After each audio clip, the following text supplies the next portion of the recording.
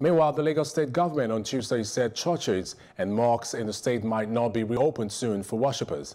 The Commissioner for Home Affairs, Anofiu Elegushi, said this on, on the sideline of the 2020 ministerial press briefing commemorating the first year in office of Governor Babajide Sanwo-Olu.